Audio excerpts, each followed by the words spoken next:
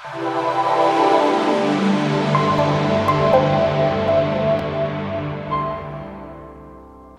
everyone, John Farnworth here with another Catalan Soccer Challenge.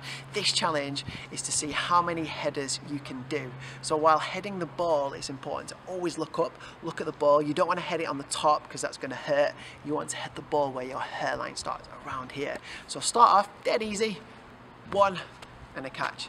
Don't head it too high because that is so much harder, just a small touch. So up in the air, one header and a catch. Then maybe try two or three. So go one, two, catch. Try to do three now. One, two, three. And I want you to see how many headers you can do and see if you can get to 30 headers. That is your challenge. Get out and give it a go.